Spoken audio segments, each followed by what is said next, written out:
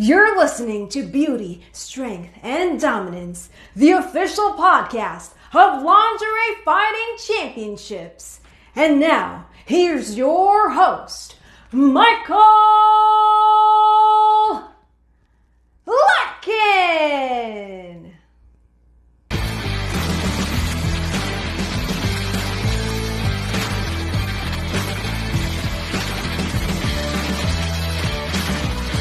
Hello, ladies and gentlemen, and welcome back to the official LFC Lingerie Fighting Championships podcast, Beauty, Strength, and Dominance. My name is Mike Larkin, and joining me tonight, she is the host of LFC 39 Goddess Among Us, live from Secrets Hideaway Resort and Spa in Kissimmee, Florida.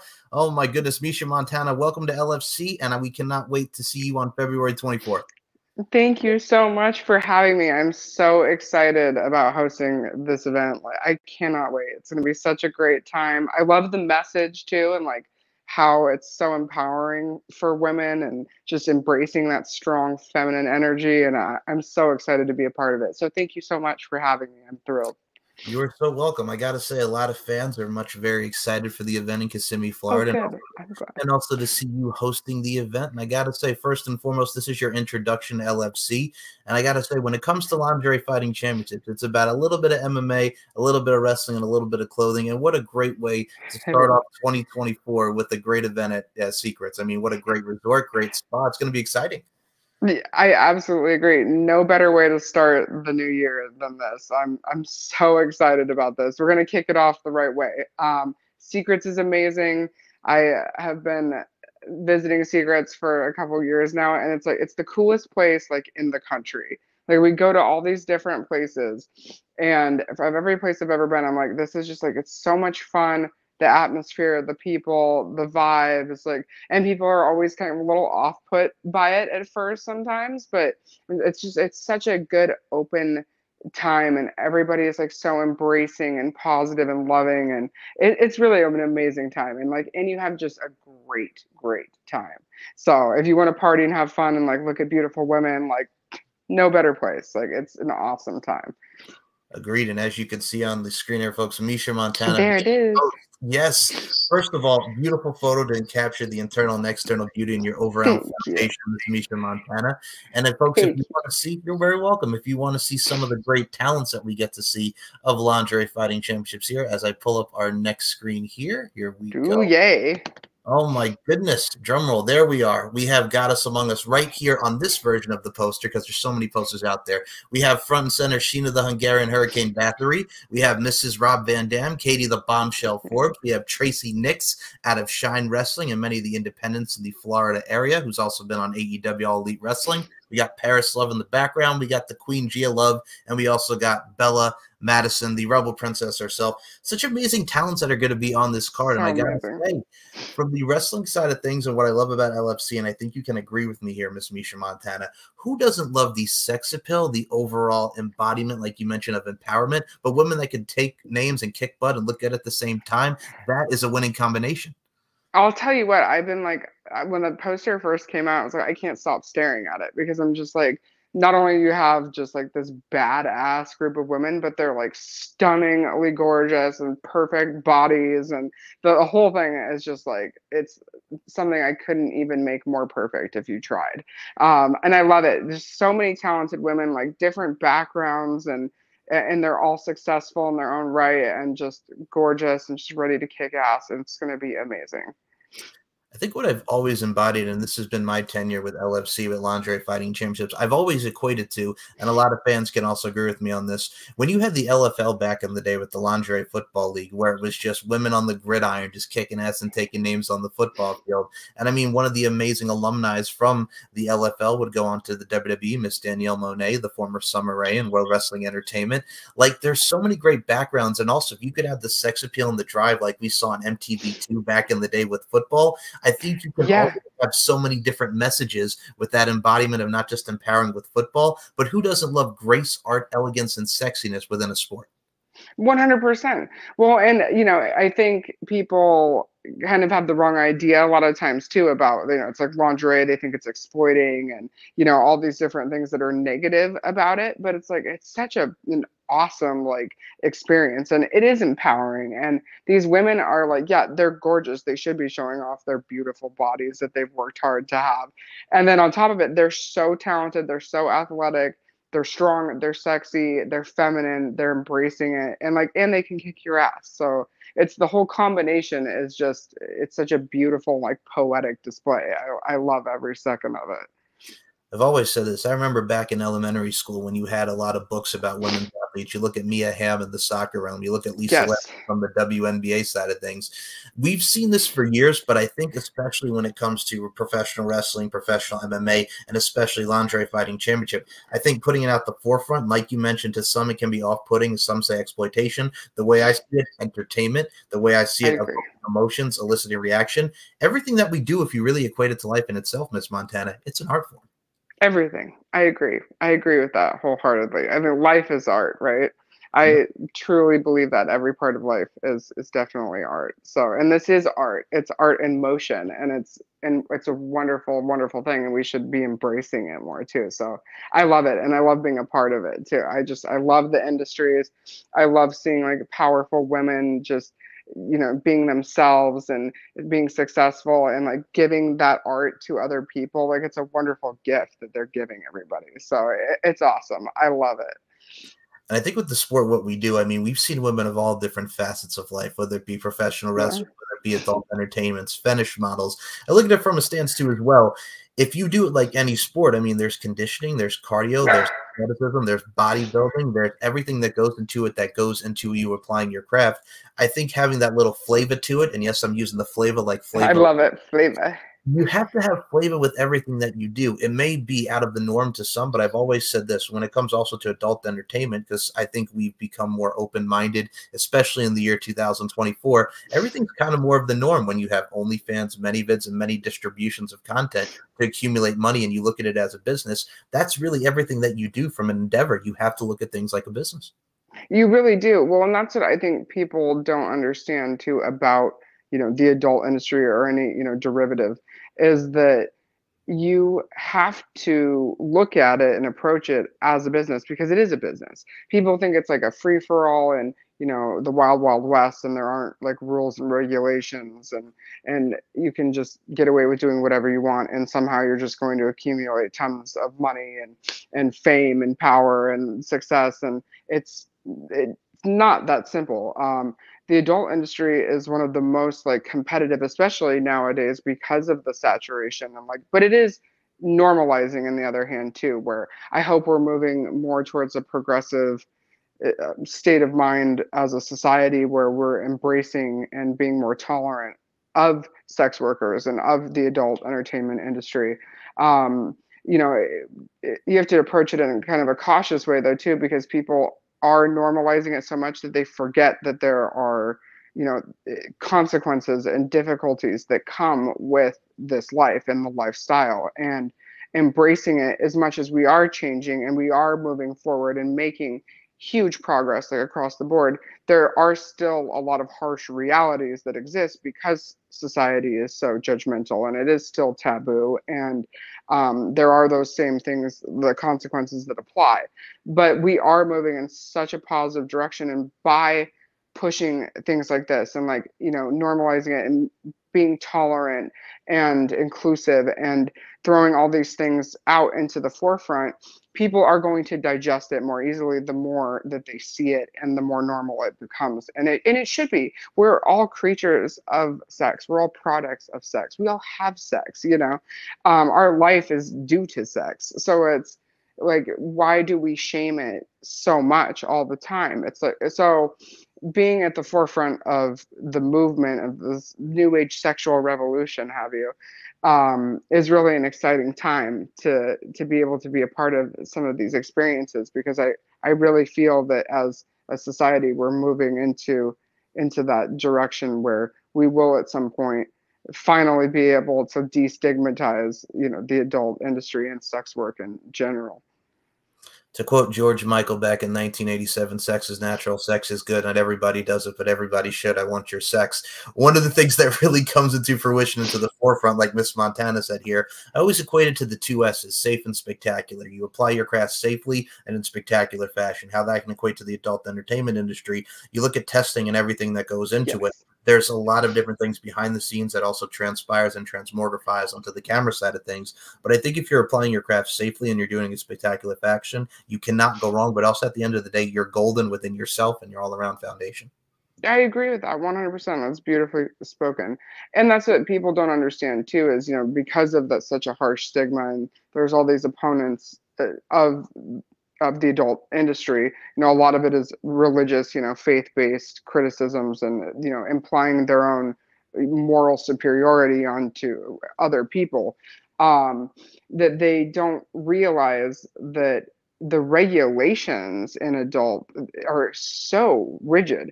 And it, it's those procedures are put in place to protect you know the performers. And people think that we're just running around like we're just like the dirtiest nastiest people in the world that just have sex with everybody and we're disease ridden like some of the the most common like mudslinging comments that you get. It's just always the typical like the same boring regurgitation. It's like oh you're just like a diseased whore and you guys just run around spreading stds it's like uh, we get tested more than any person i've ever met in my life. Like i don't know anyone who doesn't work in the professional adult film business that gets tested as regularly as we do.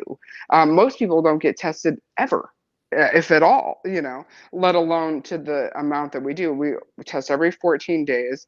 Um, you know, it's extremely regulated and it gets more, um, we add more to the tests every year um, just to make it safer for everybody. So, you know, to be a part of that is it makes you feel more comfortable too and working in a safe you know healthy environment health and safety is like a number one priority and to be able to educate people further on that topic is definitely a goal of mine um, because people just do not have the facts they don't have any clue what really goes into this business. Um, they don't even consider it a business either. You know, they don't think that we are practicing, you know, safe safe sex that we don't care about our health like and we also don't care about business or our brand or anything else that goes along with it and it's just completely untrue. It if you want to be reckless and be stupid and you know not handle your brand well or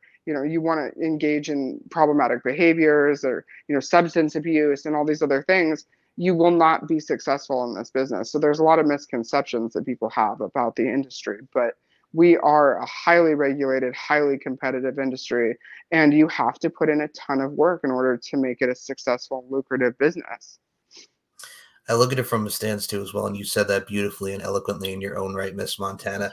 What I love about the fact is when you look at the adult entertainment industry, folks, I mean, it's 20 years now, and this gentleman is a scumbag, but we're not in the days of when we had Girls Gone Wild with Joe Francis and we saw those exactly. And everything like that.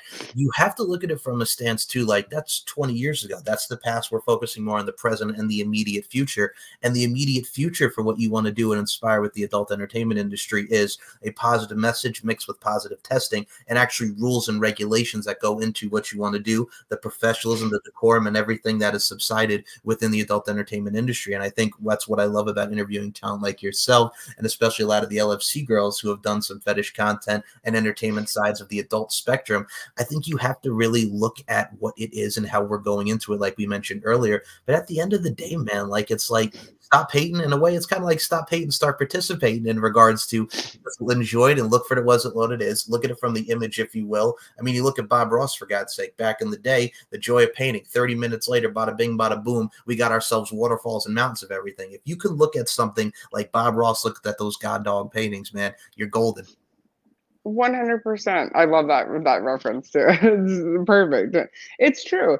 And like, and if people, you know, weren't so fixated on judging other people or you know inflicting their own beliefs onto others and trying to work out their own personal issues onto other people and through other people and be so angry and and shame and, inflicting shame on everybody too it's like if we just were tolerant and loved things that we all love to do and we're embracing and accepting of other people even if they're not like us then so the world really would be such a better place. Like let's be real. Like at the end of the day like we're, we're all sexual beings. We all love sex. Like and the, the best part about it is if sex wasn't such you know a lucrative business then it wouldn't exist. And the fact that there's as many people that consume porn but then you have the uh, vocal opponents of it the numbers don't add up. So there's a lot of uh, people that are publicly stating you know uh, in opposition of the adult industry and of sex work and, and pornography and everything else. It's like those are the people who are mass consuming it.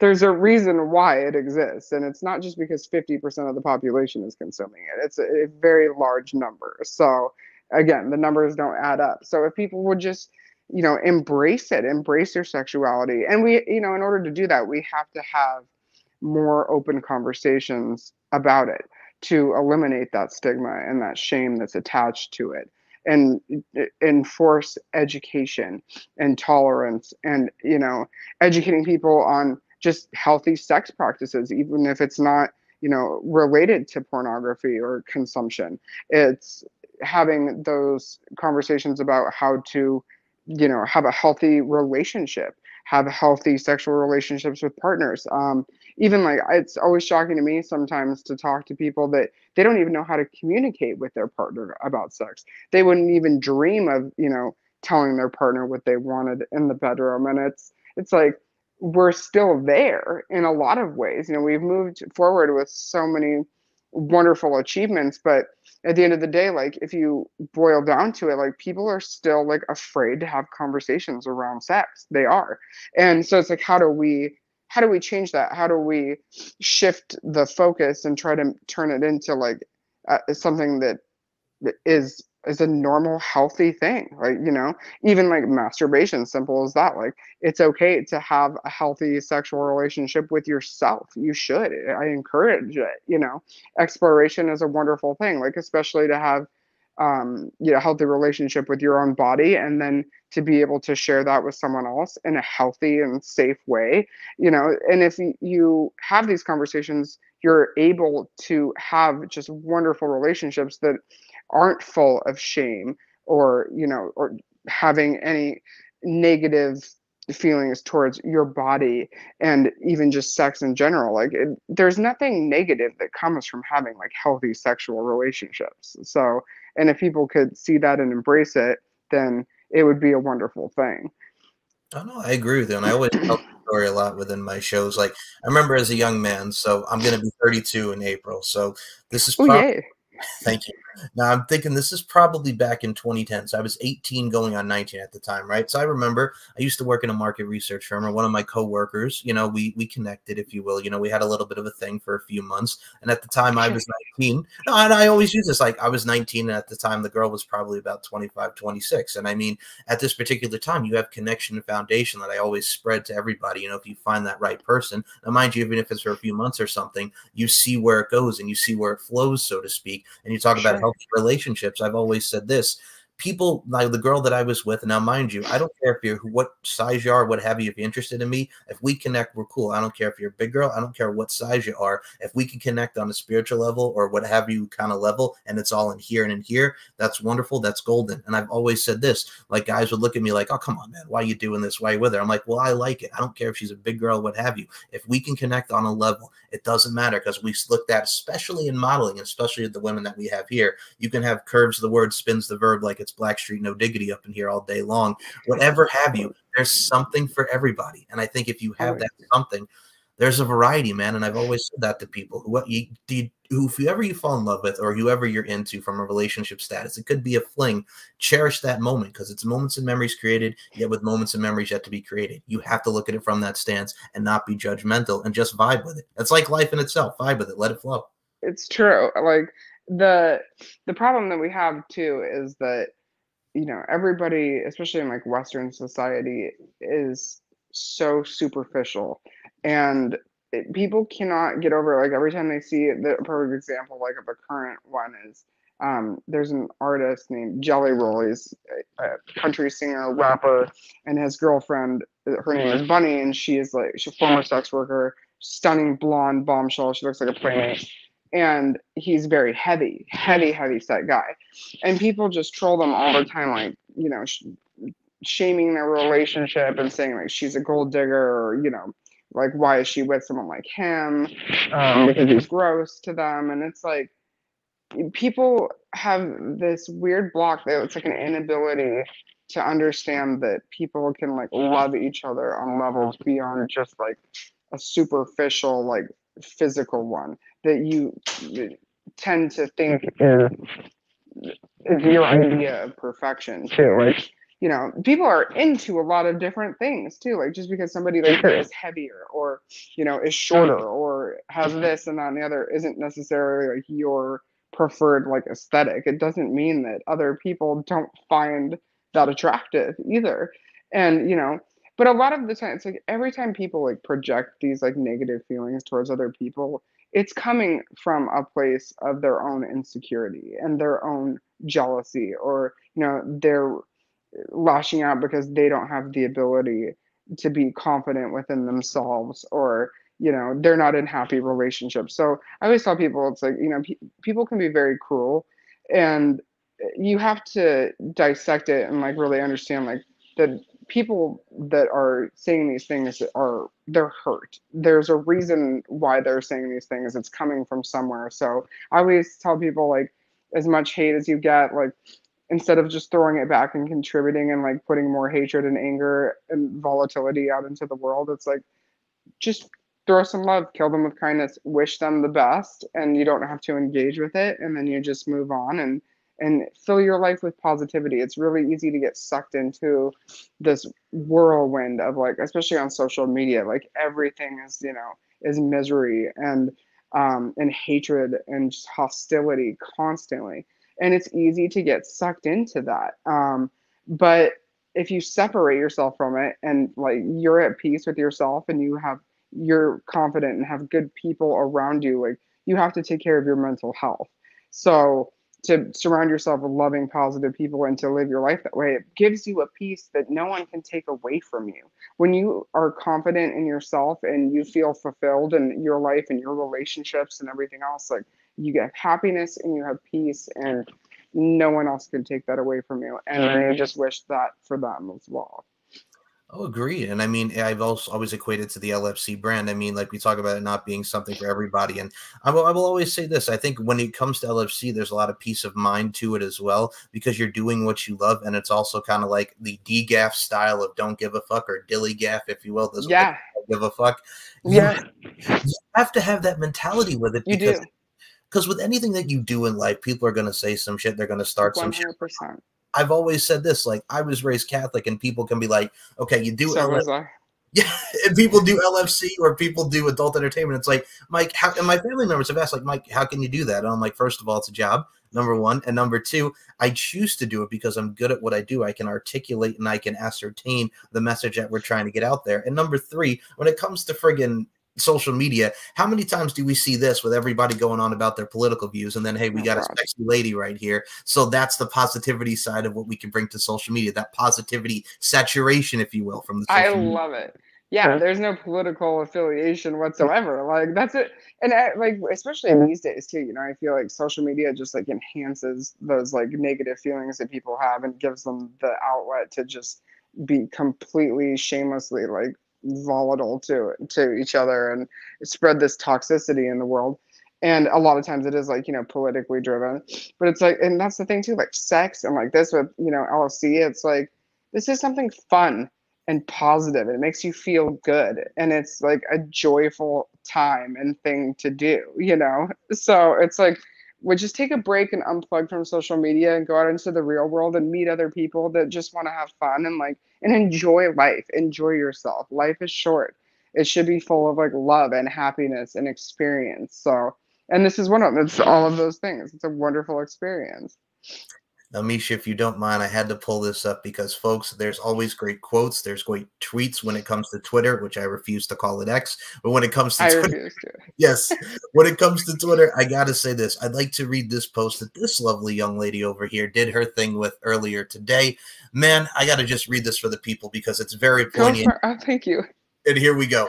It's been so nice unplugging from the toxic bubble that is Twitter, and I mean bubble. If you feel overwhelmed by nothing but constant anger, hatred, stupidity, illogical, baseless nonsense from this app, just remember there is a real world where most people live still, and they don't even remotely care what's happening on here. Most society isn't on this app. Most of society is still inherently good and focused on their families, their homes, and their happiness. This app is strictly for people that don't get enough sunlight to air out their grievances based on their emotions and not on actual facts. There's a reason why people take to Twitter. They get validation that they never would in the real world. It feels hostility, reinforces fragile egos, and enables emotionally driven stupidity and ignorance over facts, logic, and reason. There's a world full of real people like that have legitimate concerns and aren't manipulating the masses for likes at the detriment of integrity and logical thought processing. There are people outside this bubble that are working out their traumas and dealing with their difficulties in a healthy and appropriate fashion and not projecting their pains onto others anonymously and from behind a keyboard. So smile and unplug. The world is doing just fine. And here's your reminder not everyone is walking around full of piss and vinegar. Not everyone hates you or is judging you. Go out and talk to a stranger today. Remind yourself what it means to be human.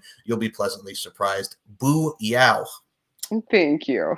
You're very welcome. But no, I, as soon as you posted that, I'm like, we're going to be talking about this on the podcast because I thought that was beautifully and eloquently written. Thank you. When you know, it's a big thing. I try to drive it home, just even to remind myself, like especially you know, in my position and others in the position that I'm in. Like, I mean, but anyone can relate to this. Like, for me, I think, and, you know, again, people in my position, it's more magnified or it feels more magnified a lot of times because we put larger targets on ourselves, um, whether we want to or not. and, um, you know, it does, it feels like overwhelming, but it's like that for everyone. Like, going on Twitter is like, I never see posts, I rarely see posts that are positive, that are happy, that someone's like, you know what, I had a really good day today and I made someone else's day good also.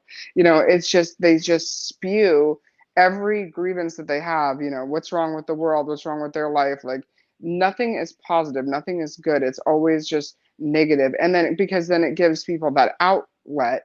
And then, other people that have the same issues or have other issues, but they just are dying to, you know, to, to get it off their chest. They link up and it just creates this just ball of anger and hatred. And it's so unhealthy, just even if you're not involved in it, just to watch it and consume it and digest it nonstop. It's like, it's so unhealthy to be plugged in to these social media outlets where you get sucked in and it, it's a bubble. Like i literally i read negative you know comments and negative posts and just awful things online all day long. And then you unplug from it from a week or like go to other like i went to youtube or like even just going out and talking to people. The majority of the world is not on twitter first of all. Twitter is the most vile of all of them. But then you know you go into the real world it's like wow it's refreshing that there are actually real people out here that are not intentionally driving you know any kind of a narrative or um, you know trying to to work out their childhood traumas by like hurting other people anonymously like five followers with like a roman reigns you know avatar. And it's like the fake profiles have like the most to say. It's, it's you know it's crazy to me. And the thing is too is like you wouldn't have to make a fake profile to say all the vile things you say if you were actually proud of them you know it's a the whole thing is just it's so toxic it's so negative it's so damaging especially to the younger kids and our youth and teens and you know it's not a healthy practice to be on social media 24 7 if i didn't have to be on t- social media i wouldn't be on it at all. You know in, in my honest opinion i don't want my kids on it.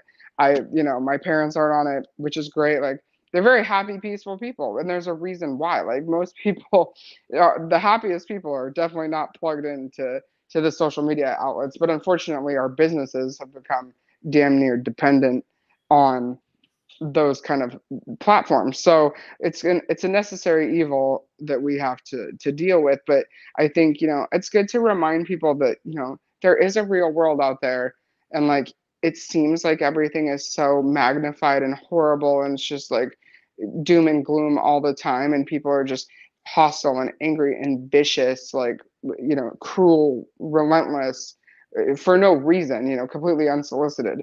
But it's like it's okay. Like if you take a deep breath and go outside like there is a world that's working outside of the walls of of social media and it's a beautiful world and people treat each other well and it's not as bad as it, it seems on on twitter for sure there's an R&B artist by the name of Calvin Richardson who had a song called Hearsay, Don't Care What They Say, I'm gonna love you forever and always. Like it's one of the stuff like when it comes to people and everything in general, you have to look at it from that stance. And I'm with you. I will say this when it comes to social media, like I got it like Facebook like in 2010. So I was a late bloomer, if you will. I remember there was a girl who I'm still friends with to this day, who we went to high, I went to high school with. She graduated like a year or two after me.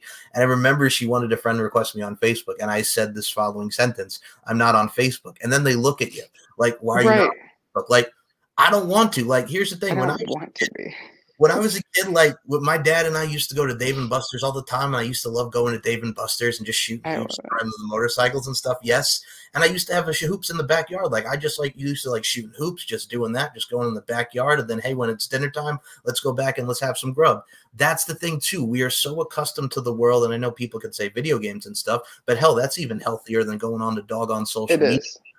And again, we look at it from an age standpoint, like we're talking about as we get older and we get wiser. We're like, First of all, do the likes really matter? Do reposts really matter? At the end of the day, you can catch your hands on only one hand here to see who your true friends are and the true people that you surround yourself with.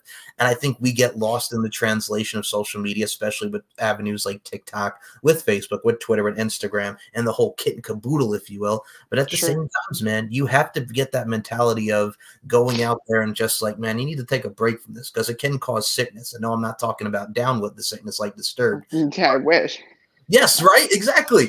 That but would be a good thing. that would be a good thing, but no, this the sickness of just like you, you have to tune out every once in a while and really just explore. You do. Well, it's poison. It really is. Like it's poison for your for your mind, which then you know affects. And I've noticed like it can affect you in ways that like you're not even aware of. You know, subconsciously it does. Like if you're absorbing nothing but negativity and just and the, it's vile. You know, if you get into the the darker parts of it it's like i mean some of the stuff these people have the audacity to say and that's another thing you know they think that one social media made the mistake of giving people and i'm sorry to say like not everybody needs a platform to speak their mind. They don't.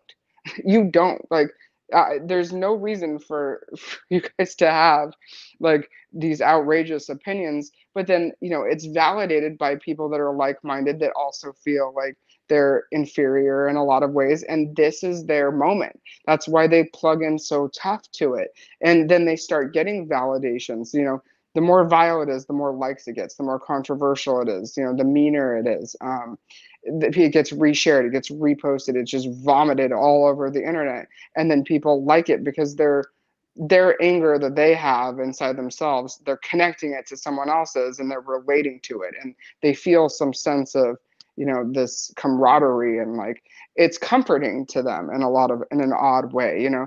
And it's sad because like they're not getting any validation beyond the computer beyond social media beyond strangers. Um they need that validation. And that's what like our society is sick.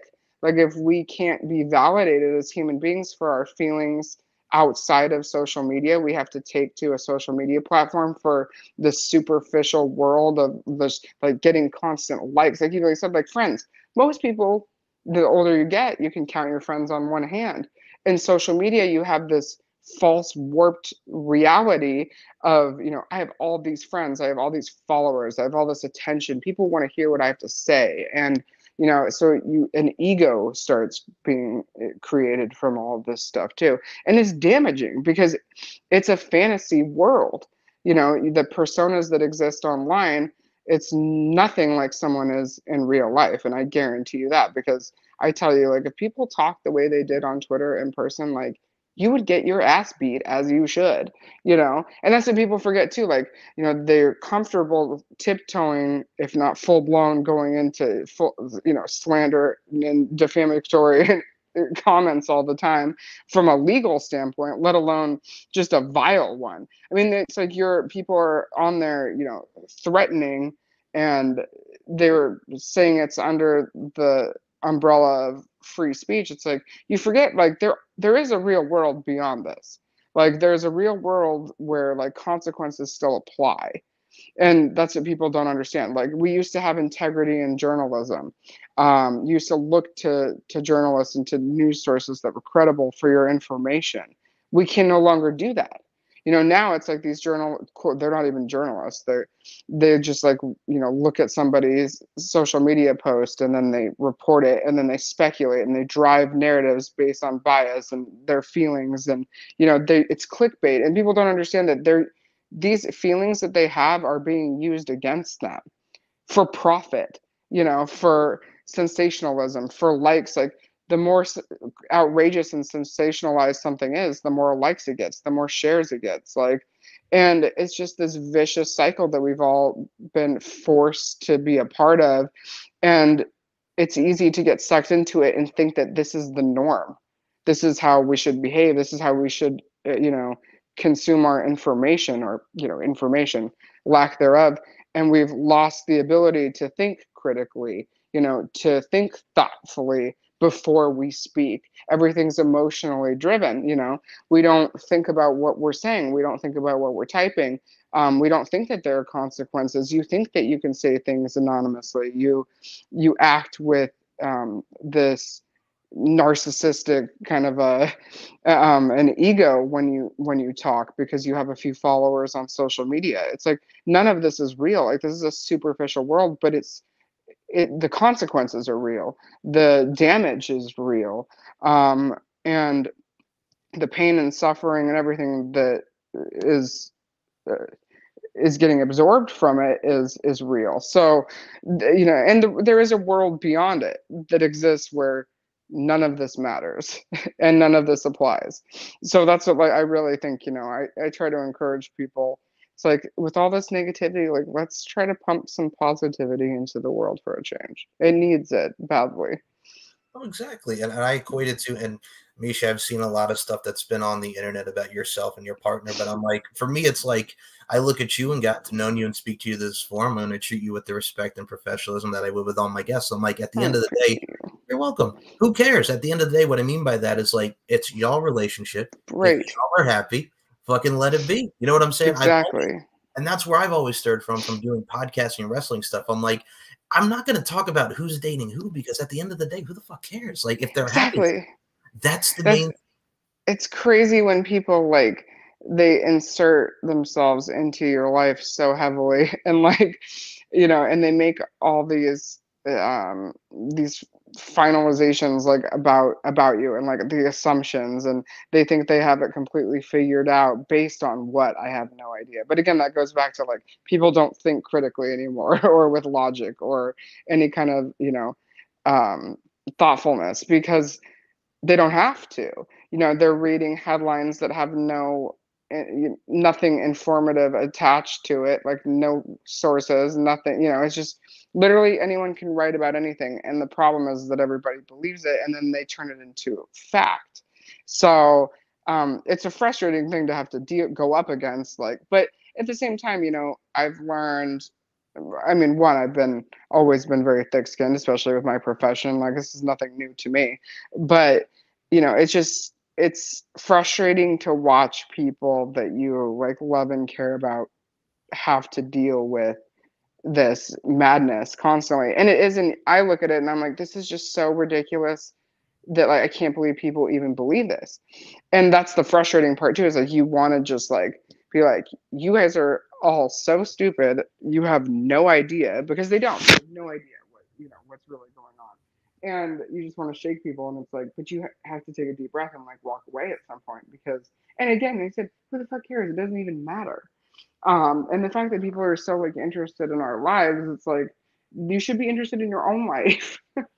like what's going on with you and uh, you know get a hobby there's other things you could be doing than be interested in what we're doing but you know and again that's like i always want to try to lead my life by example you know for myself for others for my children and you know be the best version of myself that i can be and i tell you that my the way I am and the way I've formulated my thoughts and opinions has literally nothing to do with anyone else's opinion of me. It never has, and it never will. Um, and again, kind of like we talked about earlier, like someone's always going to say something about you. Like I've learned over the years too, if you change something, you're like, oh, well, I don't want people to not like me because of that. You go out of your way to change something about yourself, they will find something else. You're never, or then another group of you know people are now no longer satisfied.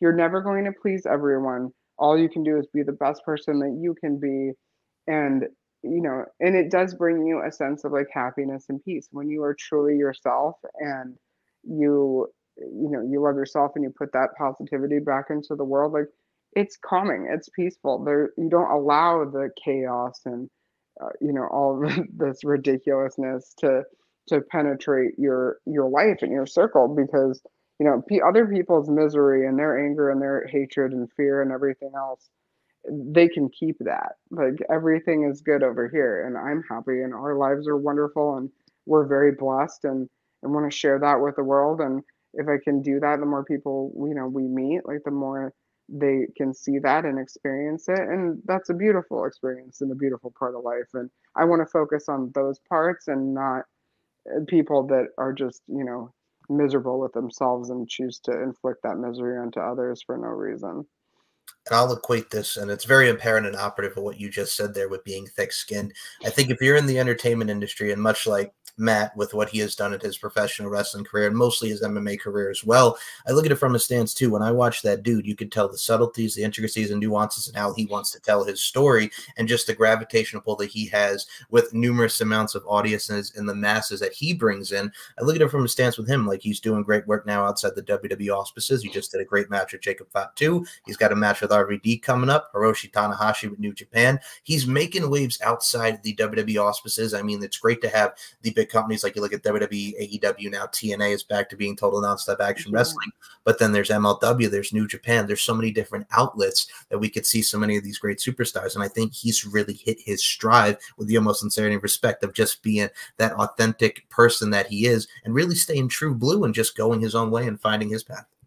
Yeah, and, and thank you for saying that too. I agree with you completely. I, you know, it it was hard to watch at some point. Like, I mean, obviously, you try to reach this level in your career you know what's the biggest place that i can work that, that where i can elevate my success to the highest level and you know the, for wwe is obviously the biggest you can do but at the same time like with him you know and, and he's an incredibly talented athlete and a wonderful person an amazing entertainer so charming and charismatic and just immensely talented in so many ways and he has been for years. He's been, you know, with these uh, UFC and then with the wrestling.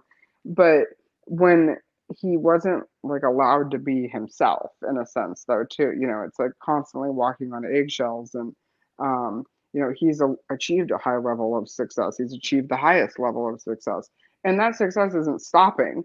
People think that you know it's just because it's it's changed. It's you know it's kind of uh, transforming into something else. Like he is on a tear right now. Like he's busier and and happier. That's important too. You know, it's like eh, for him to be eh, to be happy and doing what he loves. He loves what he does. He loves the fans. He loves traveling and and doing this. Like he's made for this life, and it shows. You know, he's put the work in. You know, and anybody that says that he hasn't, that's absolutely completely false. Like, and there's a reason like one percent of you know people make it in anything. It's because the drive and their determination and the hard work that they put into it. Nothing has ever been handed to him. He has worked so hard, harder than anyone I've ever seen in my life to get to where he is, and he deserves every minute of it. And he's just having a wonder. He's so excited about Japan and all these opportunities, and like you know, it's great. He's doing the signings and meeting people, and you know, to feel the love and support of the community and his fans. And it, it's wonderful. Like he's doing big things and it's just the beginning. Like we just started the year and there's a lot more coming that like nobody even knows that's uh, that's on you know the horizon here so i'm really excited to get to be part of this journey with him and to watch him grow into himself and and to be himself authentically and you know, unrestrained is my favorite version of him, and um, you know, I think people really enjoy that about him too. So he's authentic and hardworking and just a wonderful, wonderful person. He deserves every everything that he has and and we'll get even more of going forward here. But it's going to be exciting to see because, you know, I call it, it's like the redemption tour that he's on now because, um, you know, he doesn't quit. Like this isn't this isn't an, an end for him at all. It's literally just the beginning, and there's so much coming. It's just going to blow everybody's minds, and it's going to be different. Like even like we're doing strip club appearances, we're doing leaning a little into adult stuff. Um, obviously, like he wants to fulfill everything that he can in, in wrestling and in professional. The um, God, I just totally forgot even what it was wrestling and mixed martial arts, a combat sports, the, the brain, my brain, um, you know, in any avenue with that, like from that professional sector of the world. So, um, but he's living his life and loving every second of it and getting opportunities that he wouldn't have gotten otherwise. And we, um, we're shooting a reality show right now and doing a bunch of fun stuff. So like there's a lot coming that and I can't wait for people to really get to see another side of him that they've never seen before. I think with that dude, I mean, he could be serious. He can just run around on a scooter, oh, yeah. on a scooter and just entertain and make everybody laugh. And I mean, from the Japan side of things, man, you think of the history of New Japan Pro Wrestling and the many legends that have come there. And I mean, with Hiroshi Tanahashi now as the president, who Matt has targeted with it, we're going to mm-hmm. see some mm-hmm. great stuff there. I, I think what's great about that is adding the strong style element. Also, when you go to Japan or you go to Mexico or you go internationally, you're picking up more styles, you're learning, you're constantly absorbing and adapting to your surroundings so to speak. And I've always loved that from the discipline and just the culture side of things, because culture, being culturally in tune, if you will, not only is that wonderful, but it's the best way of being, as I say, the best representation of your presentation, so to speak. So if you can represent yourself and present yourself in many different facets, again, you're not only golden, but I think it just shows the mark that you're showcasing as a person, your overall foundation. And I think with what he's doing, and like you mentioned, opening like doing appearances at strip clubs and stuff, and the adult side of things, that also goes in hand too from the business side of things because the merch he can sell, the autographs and everything. It's a community. At the end of the day, what we're all doing is it's a community, and the interaction is what makes it important and what makes it drive everybody. Truly. Well, and then even then, it's like it's authenticity too. You know, with him, it's like this is what who he is. This is what he wants to do. It's what makes him happy. Like he loves this. Like everything he does, he wants to do it. You know, and it's cool to get to see that unrestrained like side of him too and very multifaceted. And the thing is she was like every version is authentic too like where you know he's a goofball stoner like that's a part of him for sure. And then you have like he's a serious uh, like fighter and um you know he's a black belt in jiu-jitsu and has this whole side of him too. So it's really cool to get to see like what he's going to do with he's got some great ideas and there's a lot of stuff moving forward that he's going to see you know a side of him that is going to be entertaining in a different way that I think people have been used to seeing for the last couple years. Like, and maybe revisiting some of the more original roots of his of his personality. So, and he's incredibly talented, you know, with mixed martial arts too. So, um, getting to be able to showcase his abilities too, because in a lot of ways, you know, it felt like, as even a consumer, that he was stifled in WWE because he wasn't getting the opportunity to really show that badass fighter side of himself that um, that he has, and so it's going to be really cool to see what he's going to do. And like I said, with Japan and like culturally and you know, in Japan, like in Mexico, they love him, and um, you know, and he does. I've been watching his matches too. Like he's bringing out the heat in ways that he hasn't been able to for a while. So it's just the beginning. It's warming up, and it's going to be great. So I'm really excited to see it. You know what he does and where he goes with everything, and I think a lot of people are too. So it's a fun journey to be on and you make me laugh when you say goofball stoner because I've always said this. We'll throw some pop culture into this, Miss Misha Montana. It's like, first of all, who doesn't love Spicoli from Fast Times at Ridgemont High? You were you were drawn, exactly. You're drawn to that character because not only is it an iconic movie with you know just everybody that is that all star cast, and I say this: whoever has not seen Fast Times at Ridgemont High, go out of your way because it's freaking hilarious. That's great. Yeah, but that character is so iconic, and you can base some stuff on different you know characters and stuff. That's what we see a lot in wrestling and everything. If you can just take your own twist on a certain character and really add it to yourself and amp yourself up to the volume, that's what you do. You know what I'm saying? Yeah. No, it's great, and like, and that's the thing. It's like he's a true entertainer through and through. Um, and it's amazing. Like, and like I said, it's that's his personality. It's not an act. you know, people are surprised. They're like, I didn't know he actually like talked like that. I thought that was like something that was faked. You know, like that's how he talks all the time, whether he's serious or or goofy or not.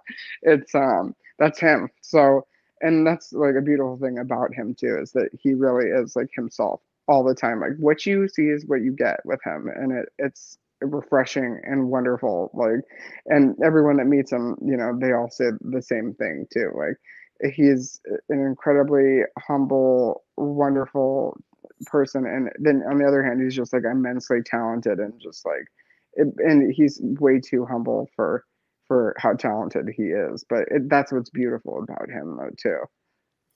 I've always said this, and I think with his stance, I've always said, and noticing him, and like you mentioned, just the way he talks, the way he walks, I think it's not cockiness, cockiness it's confidence, but at the it same is. time, humbling yourself. And like I said, put the little humblers out there, the words of wisdom, the pearls of wisdom. I remember True. actually hearing that first statement when I was in ninth grade. Mr. Marino always used to tell me about the pearls of wisdom. I think yeah that pearls of wisdom.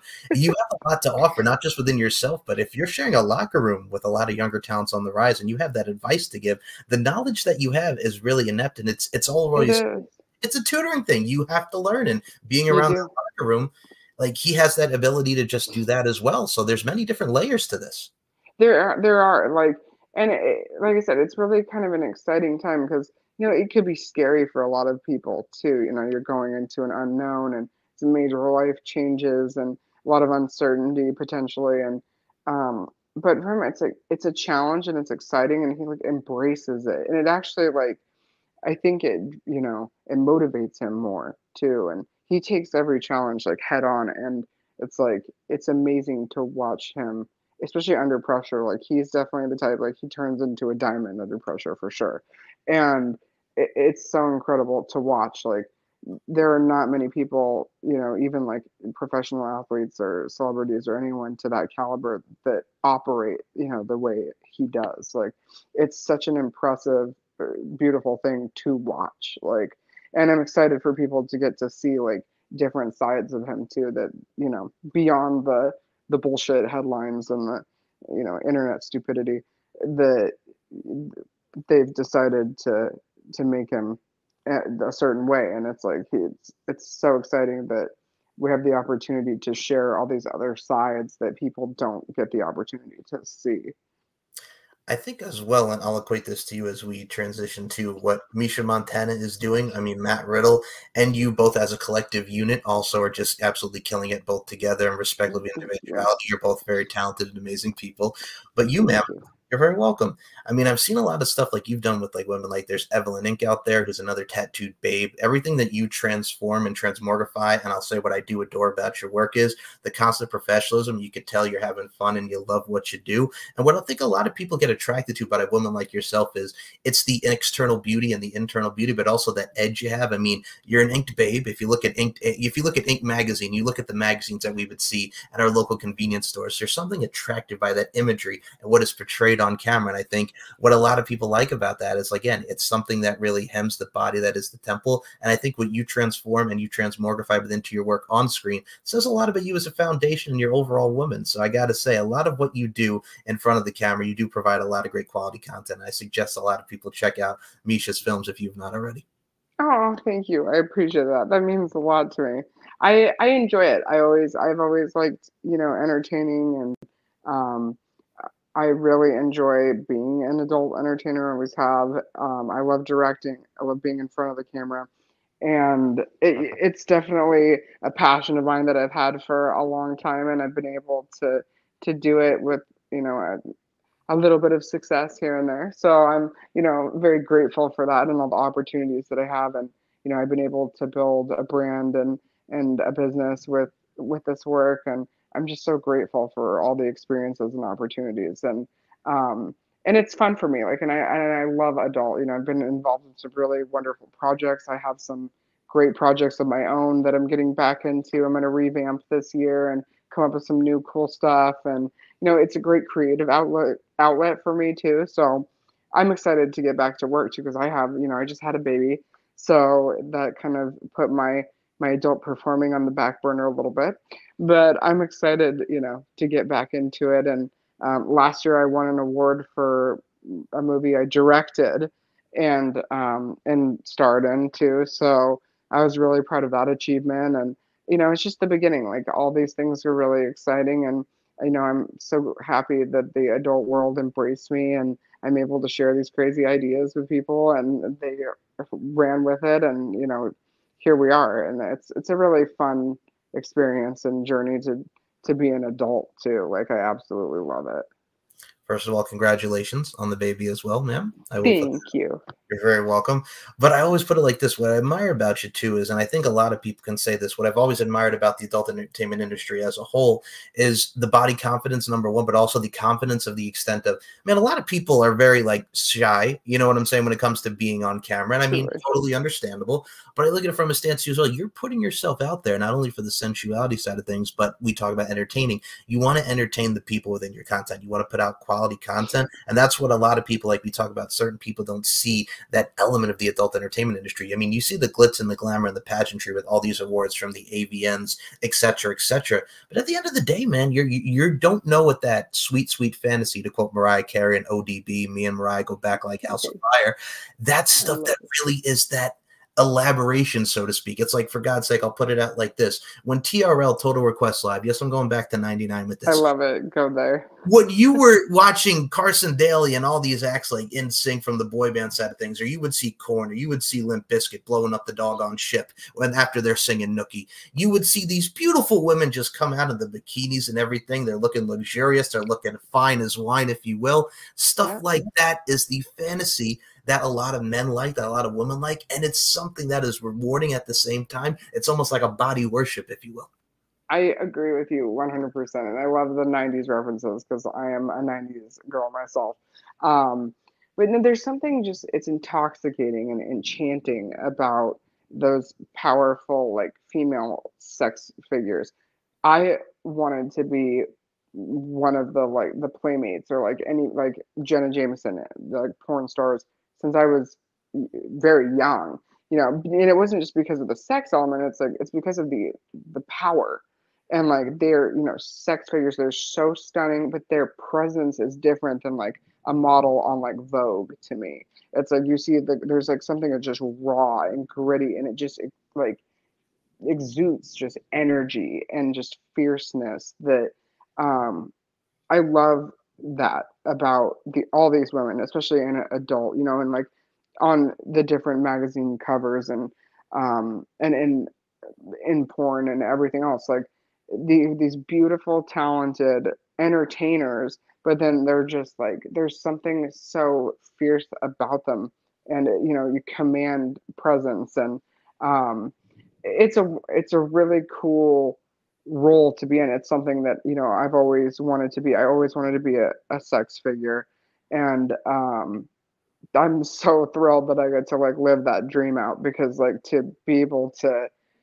to have, be in that position is truly like it's such an incredible feeling and just to be empowered and then to share that too like and you know i mentor um, younger girls getting into the industry and you know i'm a public speaker and advocate and educator to try to bring awareness to the adult industry, but also to educate people, you know, and and to be truthful about it. Um, and I never sugarcoat things with people about adult. Like, you know, there are a lot of difficulties and challenges that come with it. I'll always be be honest about that. But you know, for me, it's like the most rewarding career because it gave me a level too of of self confidence and and empowerment and just even you know financial independence and um, in making my relationships stronger and and everything you know it, there's a lot of benefits to it just for for personal reasons too like um never had a healthier relationship with with sex and and my outlook on um even my outlook on like monogamy or you know having to deal with like insecurities like within yourself and um it's really given me a, a, wonderful perspective and outlook on that. And i think you know for people even like like porn embraces people of all sizes shapes colors backgrounds you know it doesn't discriminate. So i think if people leaned into that more too like there's something for everyone. Like you can fall into any category. Like you you're beautiful to someone in this market too. Like and it really is like it's, it's such like an, a confidence boost to be able to be you know to be a, a sex figure. And um and i love every minute of it. And i always have and i just and i'm humbly and gratefully like just accept and just revel in this this life and this experience all the time. I'm just so so so grateful for it I will add a 90s reference to that because you said something imperative I know you'll appreciate this. And you mentioned names like Jenna Jameson. I also equate Pam Anderson with this. When you have yes. the Internet Babes of the Year, folks, because we used to have the Internet Babes of the Year, the most searched on the Internet were women yeah. like Jenna Jameson and a Pam Anderson. And I mean, yeah. WWE did that with Trish Stratus, like in 03 and 04. She was the babe of the year. I mean, when you look at a woman like Trish Stratus, like she was a fitness model, she was a model yeah. own right, and then she became this kick-ass Stratusfaction. Yeah. And she just came back and did her match with Becky Lynch, and she's in like her mid to late 40s. And I know she's great. Right? God, she's such a babe. Well, that's the thing too. When WWE used to be like that you know, I the good old days. Remember those, like you know, Attitude Era, and like there was like you know tits and an ass all over like WWE um, back in the good old days.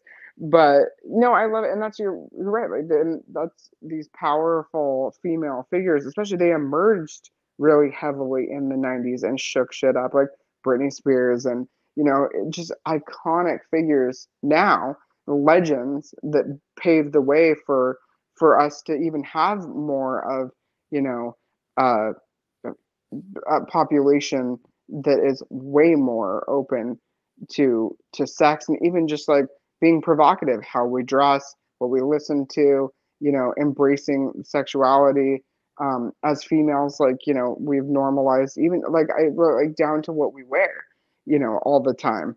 I think that that expression um, has become way more tolerated too and that's a huge thing from 20 years ago you know just from what we even wear every day. So like we're making changes in the right direction and these powerful female leading figures have paved the way for for everyone else and it's really it's an awesome thing this one bringing up britney spears over here i will say this my britney yeah, no, I'm right there with you because that was my first crush, Britney Spears, when I, I was Britney. growing up in the 90s. Me too. And I'm going to throw this out here. You want to feel old here, folks. Misha Montana, I don't even think you realize this. But, folks, we have just celebrated the 25 year anniversary of Baby One More Time. Can you believe I that? I saw oh. that the other day. I was like, oh my God, I'm so old. Uh, now, here's the thing about that. I use this as an example a lot when it comes to women. I said when Britney Spears' Baby One More Time first came out, you could talk about the scene where she's performing and the friggin' gymnasium and she's doing the dance. You could talk about her in the like the cafeteria area and the outer way of the school and the car and whatnot. But when she wore the doggone schoolgirl outfit, like the Catholic school type outfit with the mm-hmm. pigtails and whatnot, that has become such an iconic iconic. Look. And you yeah, can't deny iconic. it. Because you can't. that. You can't deny no. it she changed the game in so many ways. But that's I love that just like unapologetic, revolutionary, just amazing, badass women. Like it's wonderful, which is great too. We get to celebrate it with you know LFC. Like I'm so excited to be a part of that and we are excited to have you. And you you mentioned badassery. You're very welcome. You mentioned badassery, if you will, kick ass, badass, the whole nine, however you want to define it, ma'am. You, my friend, are a badass and a kick ass person in your own right.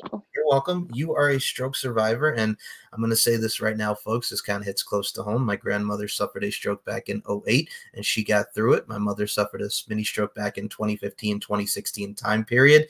And Amisha, I got to put this on you and say, first and foremost, I know you are a stroke survivor. We are all happy to see you well, healthy, and well doing your thing. And the fact that you're here with us, I got to say, it's wonderful that you got through that. Thank you. And I'm very, very happy to be here sitting with everyone to be able to share that experience because uh, a lot of people are not as lucky. And, you know, I'm so sorry to hear that it has affected your family also. Like, my heart, I told you, just goes out to you and, and to them. Like, and it's common, unfortunately. Like, you know, I don't think I've talked to a single person that they don't know someone or they haven't themselves like had a stroke directly impact their life or their loved ones um, and it really is one of those things that you know i never knew how prevalent it was prior to having a stroke and um, it's becoming more and more common like people younger and younger are starting to have them more um, it's a really serious thing. And, you know, I never thought in a million years because I was so ignorant and uneducated to what even a stroke was, um, that I thought strokes were mainly reserved for, for older people to have. And that's just not the case. So, you know, um, I'm so happy to be here. I had a stroke in 2021 after I had um, the vaccine, and I unfortunately developed a blood clot that traveled to my heart, and I had a previously undiagnosed heart condition at the time uh, called a PFO. So it shot the clot into my brain and caused a stroke. And, you know, I lost all control of the right side of my body, and mostly my face was paralyzed. It still has some um, semi paralysis to this day, and my speech, and um, having to like rewire and relearn things. And even to this day, you know, my memory is horrible, um, so horrible. Just different things like it changes you permanently it, um, on levels that people aren't even aware of. So I'm really happy that that that I'm here and I get to to share my experiences with people. One to spread awareness and just to um, to be able to talk about it and and to provide some comfort to people that that deal with it or for anyone that deals with things where they suffer silently um, just to spread awareness even to the fact that we all have something going on that a lot of people you know aren't aware of. So it's just so important to take care of your health and and your loved ones and um and to know the signs of having a stroke and educate yourselves on that because you know, a lot of times people think uh, people are having strokes that they're drunk or on drugs because they're um, not making any sense when they speak. And, um, you know, that's a dangerous and unfortunate uh, assumption to make because it can be deadly for people too. So um, it, has been a, a crazy journey coming back from the stroke, but, you know, the stroke gave gave me life in a lot of ways because after that I was able to to do a lot with my career that I wouldn't have been able to do. I have um, an, a, one of the most nominated um, documentary style showcases of an adult performer out there because of the stroke and it's giving me a lot of opportunities like that i'm incredibly grateful for and um, if i can share those experiences with others then you know i hope it helps make a difference at some point too I think you most definitely are with your documentarian style of oh, giving the platform. You're welcome to giving the platform to tell your story as far as the stroke goes. And I've always said this. First of all, you talk about your grill and your face. You got a nice face. All up in here is Thank very. You. You're very welcome. Thank you. I'm lucky it came back. Absolutely. No, I, have equated it because I've told my story and I equated this with strokes and what has gone on in my family. So I'll say this straight up right now. I'm an epileptic, and I'm going to say this right now from the seizure side of things, I always say this because, like you, with looking up on strokes, I did more looking up when I first got diagnosed with it. I was 15. Yeah. I was 15, 16. I got to say, folks, it's horrifying. Like the only it thing, that, the only thing I lastly remember was I woke up to my dad. By he hit my his hand was right here. He was telling me to squeeze his hand, and so I squeezed. Like, and all of a sudden, right, and EMTs are around you, and you're like, oh, oh shit, so scary. It's it is but I've always put it to like this like you talk about a blessing. It's like you wake up every day and people just think when yeah. epilepsy, it's flashing lights. I'm like, no, much like no. strokes, there's stress factors, there's everything yeah. that goes into it. You have to be careful. And you also not just overall just watching yourself health wise and just in general, but whatever you go through. And I always put this, and I'll get a little spiritual here. I think God has a plan for all of us. We all go through trials and tribulations but we all go on that journey. You know what I'm saying? And the ride is worth taking. That is life. So we're here, and that's wonderful. Yeah, I'm so glad that you're here, and I'm so happy to hear that. But then you and you have such like a beautiful outlook on life too, and you don't allow those things that so easily could like jade you or make you you know a nasty person or resentful and um it's like we have one life and like and even to be to have like a taste of, of death at that point or you know what it could be like you you feel your own mortality and uh it's really like it is a gift because like I have like this level of gratefulness for my life and you know I, i'm sure you feel the same way and a lot of people that experience these kind of events like we all kind of have a similar experience or like mindset afterwards too that i've noticed it's like this collective thought process is very different than than you know people that haven't. And like not saying that i would want anyone to but um there's the community of like survivors has an interesting um outlook on life because again and that goes back to everything else it's like we have one life and we have a limited amount of breaths that we take and the time that we have what do you want to do with it? How do you want to be remembered? And um, you know what's your impact going to be on the world? And why not choose to make it a wonderful one a lively one one that's full of life and laughter and love and you know good health and memories and experiences and um, and pleasures and everything else. So and and to, then to share that and that energy with other people and um, i really think that it's it's a wonderful thing. So i'm happy like and you're doing wonderfully and and putting this stuff together and sharing that energy and love with everybody. It's really it's wonderful. So thank, thank you for everything that you do too Oh, you're very welcome, and that feeling is mutual and reciprocated back to you, my friend. And I mean, here's what you're welcome. I always look at it like this. So you talk about stuff with being mean and nasty and stuff. Like my mindset, a lot of that was back in the day. I think it's just because you're younger in your youth. And I'll say right now, sometimes where we were three years ago is not where we are now. I think we grow older, we get wiser, and I think from that standpoint, you look back and you assess the situation. It's okay, like that stuff happened. How could I assess so that doesn't happen again? And I that's what life is and a really one big thing folks. It's an assessment you know what i'm saying? We're putting sure. the places together. It's a thing it's chess. What's the ultimate checkmate? Where's the journey going to take us? The ultimate checkmate is love and success it's future. It's planning forward and moving forward. That's the ultimate checkmate in life if you really look at it from a chess point of view. Absolutely. Absolutely. And that's what you know we we choose our moves wisely you know and speaking of choosing moves over here, what I think you should choose your move to do, folks, and this is the ultimate checkmate, is LFC 39 Goddess Among Us on February 24th, hosted Absolutely. by Misha Montana.